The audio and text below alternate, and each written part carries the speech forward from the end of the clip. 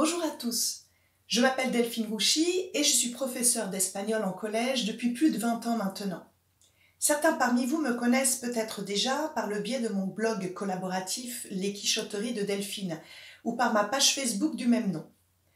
En ces temps particuliers de confinement, nous nous sommes tous retrouvés enseignants devant une nouvelle difficulté, assurer une continuité pédagogique, mais à distance.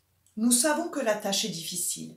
Nous souhaitons tous proposer à nos élèves des cours de qualité, mais sans un véritable échange comme nous le faisons en classe, cela relève vraiment du défi. À distance, les explications nécessaires à la bonne compréhension sont très limitées et passent beaucoup par l'écrit, alors que nous savons que la plupart de nos élèves ont besoin d'une accroche visuelle et orale. Sans cela et tout seul chez eux, beaucoup ont ou vont baisser les bras rapidement. C'est pourquoi, en collaboration avec les éditions Maison des Langues, je vais proposer tout au long de ces prochaines semaines une série de cours en ligne intitulée Espagnol en casa.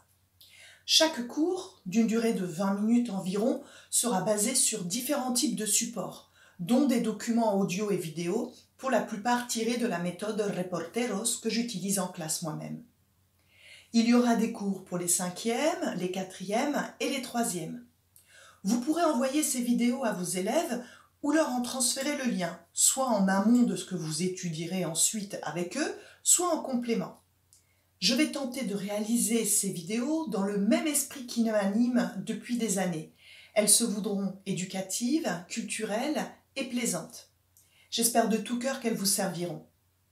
Si vous avez des suggestions ou des commentaires à me faire, n'hésitez pas à écrire à l'adresse espagnol.emdl.fr.